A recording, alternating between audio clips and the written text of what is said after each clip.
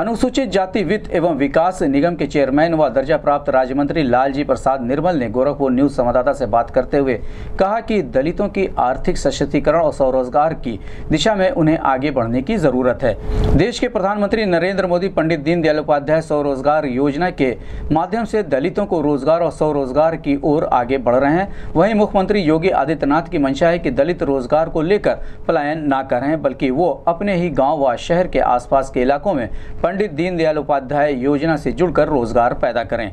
उन्होंने कहा कि वो पंडित दीनदयाल उपाध्याय स्वरोजगार योजना को गांव-गांव तक पहुँचाने के लिए लोगों को जागरूक कर रहे हैं, उन्होंने कहा।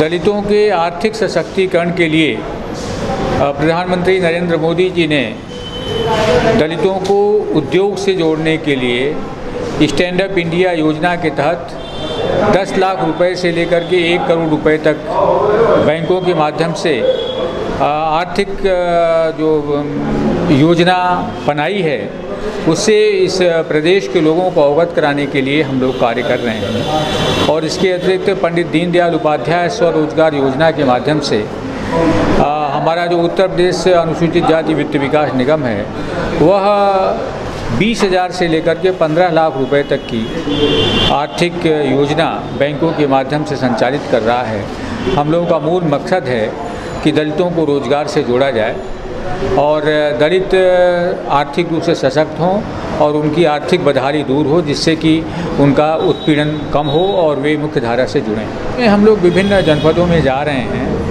दलितों से संवाद स्थापित कर रहे हैं, मीटिंग कर रहे हैं और प्रचार मीडिया के माध्यम से ये कार्य हम लोग कर रहे हैं और संदेश दे रहे हैं लोगों को कि आप रोज़गार से जुड़िए क्योंकि रोज़गार के माध्यम से ही दलितों को मुख्यधारा से जोड़ा जा सकता है क्योंकि आरक्षण तो कुछ ही लोगों तक फ़ायदा पहुँचा सकता है।